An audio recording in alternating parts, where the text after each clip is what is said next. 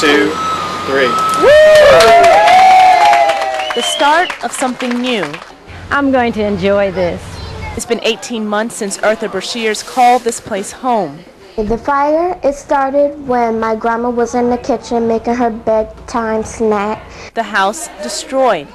And all you could see was the ash and the dust and the mattress, it was gone. Eight months ago, all that changed. From those ashes, a fresh beginning.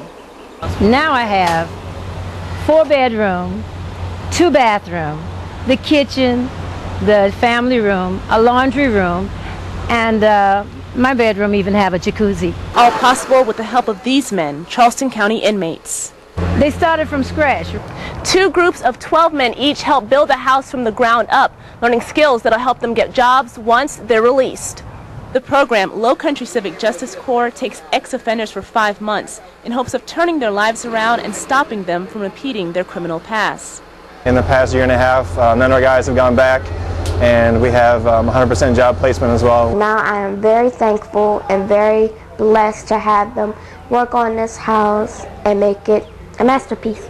Their masterpiece, an accomplishment of men no longer taking away from society, but giving back. Renee Williams, ABC News 4.